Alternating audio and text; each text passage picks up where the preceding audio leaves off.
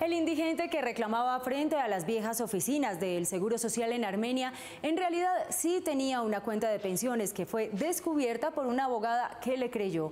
Con su primera mesada se quiere afeitar y pagar arriendo. La dormida en la calle es muy horrible. Esa ha sido la preocupación de Bernardo García desde hace 25 años que vive en las calles de Armenia. A veces lograba para una pieza, pero otras no. Yo ya tuve experiencia de vivir dos noches en la calle y me fue muy mal. Cuenta algunas de las razones por las que entró en desgracia después de ser el hijo de los dueños del granero más importante de la capital quindiana, haber estudiado en prestigiosos colegios y haber comenzado su carrera como seminarista. Me entregaron 1.200 millones en el año 84 y yo me fui a vivir a Europa.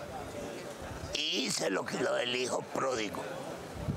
Me la gasté y resulté comiendo bellotas de los marranos.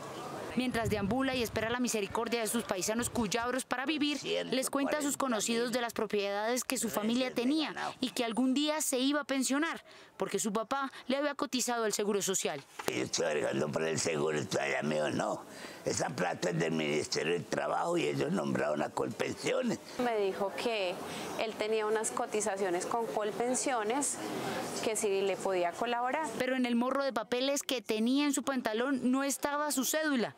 Tuvieron que sacarle una nueva para identificarlo. Las semanas no le alcanzaban para pensionarse. Yo soy como los viejitos antiguos.